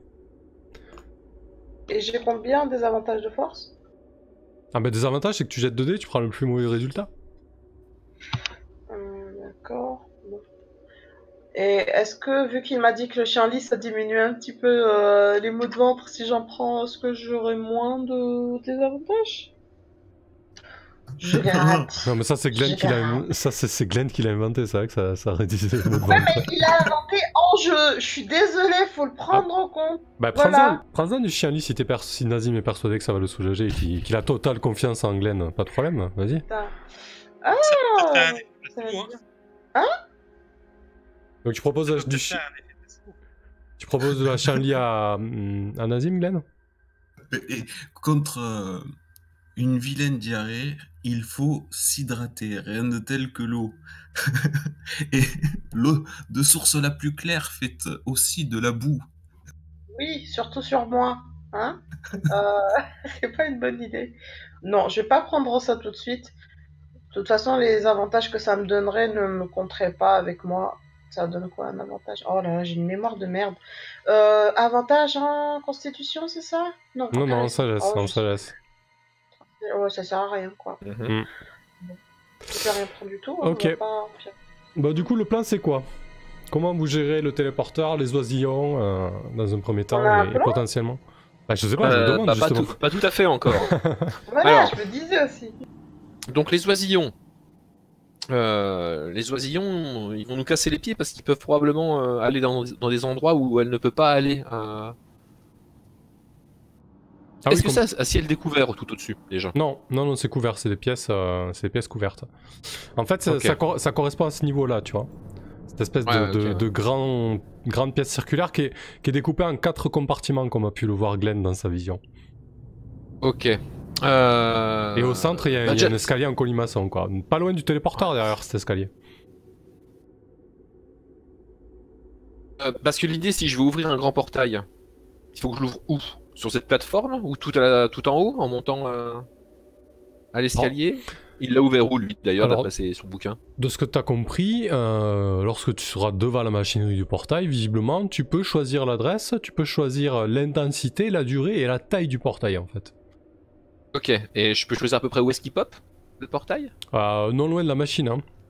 A Non priori. loin de la machine. Mais est-ce que l'oiseau géant, il a, il a du coup euh, accès à la machine? Bah ça, à mon avis, tu auras ces réponses quand tu seras devant. Ah, On n'en sait rien pour l'instant. Non. Ok, bah de toute façon, s'il a pu s'enfuir de d'un de ses portails, il peut forcément y rentrer. Si on n'est pas trop con. Hmm. A priori, ça, ça passe quelque part, ouais. Bah pour les oisillons, j'ai pas de plan particulier là, personnellement, j'en ai pas grand chose à cirer.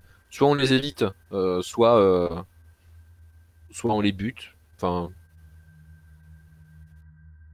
c'est comme vous voulez quoi. Après, euh, le gros du plan, selon moi, c'est euh, vous me couvrez pendant que je fais le, pour le rituel, hein. puis vous vous débrouillez. Voilà. Peut-être que tu pourrais les occuper, euh, De couvrir comment? vu que c'est des charognards, en, en animant euh, un de leurs casse-croûtes. Vous pourrez les perturber un moment, le temps de passer et d'aller chercher le... J'imite Euh, j'imite le bruit des poussins. Tu peux faire ça, toi? Oui, j'ai lu, je, je peux lancer le sort illusion sonore. Ah mais parce qu'il est sorcier le, le corbeau? Bah non, je mais suis les. pas sorcier. Je suis pas sorcier, j'ai juste une capacité, c'est que j'imite des sons. Ah C'est bien ça, en fait. Ménate, le truc. Ah, les Ouais, c'est ça, c'est un peu le principe. Très intéressant Le gros oiseau euh, faire, euh, faire du bruit, tu l'as déjà entendu parler ou quoi que ce soit? Le père Ouais. Bah il a déjà entendu Non. piailler, ouais. Oui, je l'ai entendu il avait pas parlé, non Oui, enfin, piailler, on s'en fout. Du coup, tu peux utiliser ça et essayer d'en attirer au moins un. Ça nous permettra de nous en occuper l'un après l'autre. On peut s'en Bah. occuper les deux parce que il faut qu'on se débarrasse Mais- des oiseaux avant la mer. Mais en même temps, est-ce qu'ils avaient l'air si agressifs que ça? Euh, Oui Oui Bah maintenant que Nazim a essayé d'en égorger un, euh, Ouais, ils sont plus agressifs parce que t'as essayé de les égorger, mais à part ça... Mais pas du tout Ok. Ou alors vous y allez vous, peut-être qu'ils auront une meilleure appréciation de... de gens qui ne connaissent pas que moi, mais ça m'étonnerait. Ça reste Bon, une tout- idée, c'est-à-dire. Je vais me diriger vers le, vers le téléporteur. Euh, Est-ce que quelqu'un de taille hum, comment, euh, respectable veut m'accompagner pour qu'on explore un petit peu cette zone euh, et qu'on fasse un point là-haut? Moi, je peux. Ok. Alors on passe devant, on rentre et on vous renvoie le téléporteur. euh. Ah oui, euh, je leur dis aussi hein, que le, le, le, le- le papa essaie de rentrer euh, au niveau inférieur. Ok. Ah, Bon, enfin, de toute façon, je je suis pas sûr que ça change grand-chose à notre histoire. Il essaie de me choper moi, peut-être que si je reste ici et que je le laisse euh, me voir, euh, il va... Il sera pas occupé, il sera Non, trop occupé non, par moi. Je sens vous qu'il a senti un danger, il a pas réussi à l'analyser, mais il sait qu'il y a un danger au niveau inférieur. Ok. Du coup, euh, où on est Steren et, actuellement, quoi. Steren et Glyn, euh, vous prenez le, le téléporteur, c'est ça? Ouais. Hmm. Alors du coup, euh, le, le téléporteur, je te laisse euh, roll euh, l'orbe de tornade, euh, Steren. Du coup, J'ai ça... j'ai pas, j'ai pas besoin de l'orbe de tornade pour, euh, pour le rituel du coup. Ça marche sans. Alors là, en fait, la, la- la machinerie semble alimenter, en fait. L'espèce de gros tuyau que je vous décris tout le long de la tour euh, ronfle de puissance, en fait. Ok, ok. Euh, donc je laisse le rôle. Euh, du coup là vous fait. prenez le, le téléporteur à deux Glenn euh, et, et Steren et visiblement il y a une espèce de surcharge de puissance où il y a quelque chose qui se passe mal et vous perdez euh, une partie de, de- de vos objets. Euh, je vous laisse roll. Je vous... Pardon, je vous laisse roll euh, un de vos objets euh, avec un dé de risque, celui que vous voulez.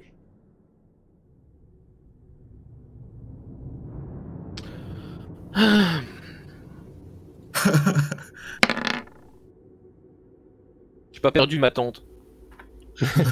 Ah, mais on, on roll ou on choisit celui Ah non, non, non, je, je vous laisse, je vous laisse, pardon, pas roll, je vous laisse descendre d'un cran en fait.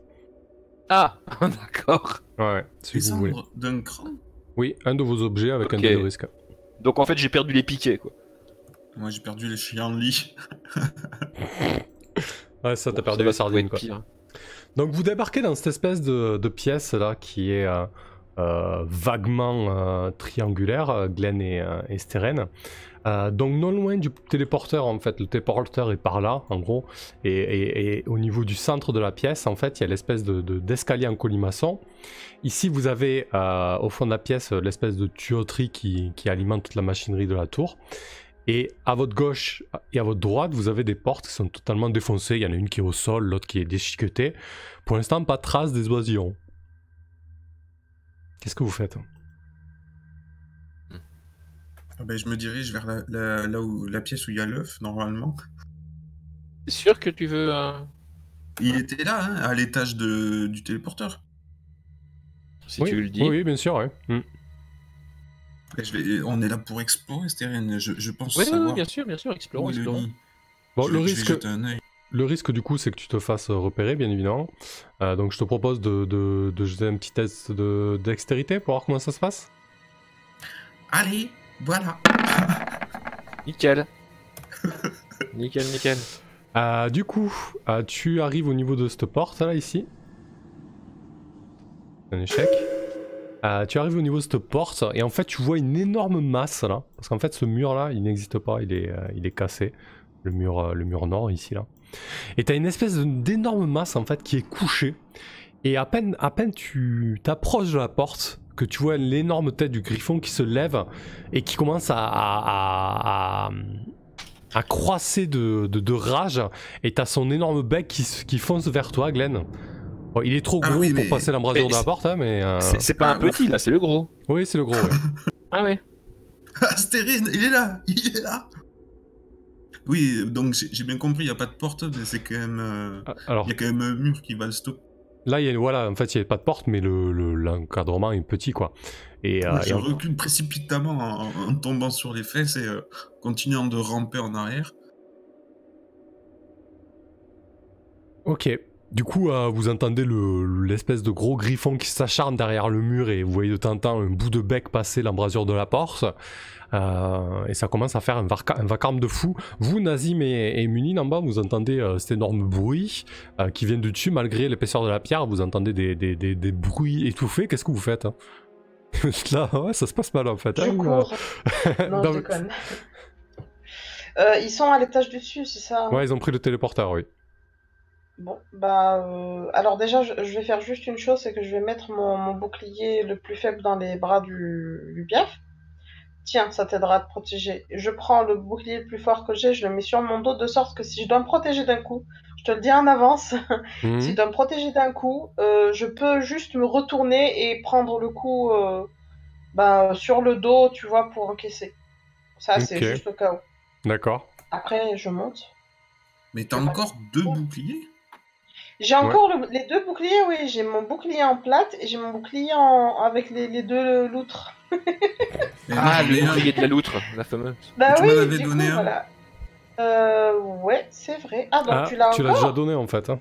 Tu l'as déjà donné. euh, Ah, d'accord, j'avais oublié. peux D'accord. pas- bah, tu du peux coup, pas le redonner à Méline. Euh, donc Oh, tu prends le téléporteur, Nazim, très bien. Donc euh, Steren, Ah je te laisse, euh, je te laisse euh, activer encore une fois l'orbe de la tornade. Et toi aussi, Minine, du coup, tu suis? Euh, je suis Ah. obligé de prendre le téléporteur là? Non, toi tu peux y aller en volant si tu veux, mais c'est plus dangereux, disons que pour accéder là-haut, il y a le, il y a le piaf, quoi. Donc Bah cette fois, l'orbe euh, se casse un peu la gueule au niveau de la puissance à Ouais, force de l'utiliser, forcément. J'ai pas compris, Minine, qu'est-ce que tu fais? Téléporteur. Ok, donc retire, euh, Steren. Euh, hein. Mais il, il croit que, il croit que c'est l'ascenseur, il croit que c'est l'ascenseur euh, public quoi. Ok, ça passe. clair. Euh, bah écoutez, vous êtes tous les deux, là- tous les quatre là-haut, alors que le que le griffon s'acharne sur l'embrasure de la porte.